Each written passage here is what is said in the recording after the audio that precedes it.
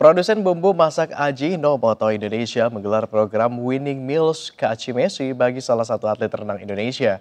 Melalui program kecukupan gizi inilah, salah satu atlet cabang olahraga renang, I Gede Siman Sudartawa berhasil meraih medali emas pada SEA Games ke-30 di Filipina.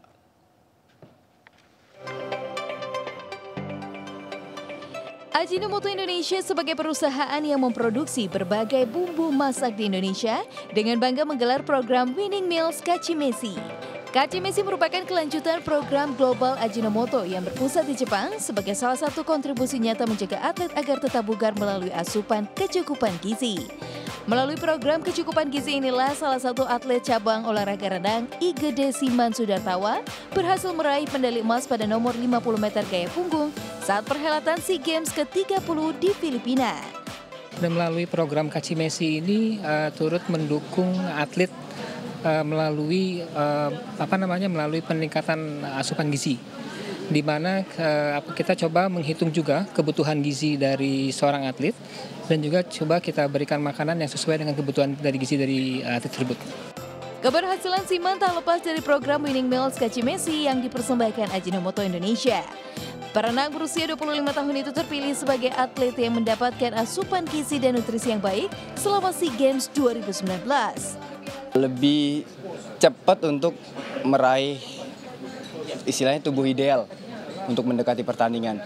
Shavingnya apa segala macam dalam bentuk uh, badannya lebih cepat tercapai. Karena kan makanannya dijaga. Terus uh, seperti dietnya jadi nggak berasa diet. Tapi bebannya udah berkurang gitu. Ajinomoto kali ini memang luar biasa ya. Ini program yang pertama kali diberikan oleh suatu perusahaan ya uh, untuk mendukung atlet secara detail.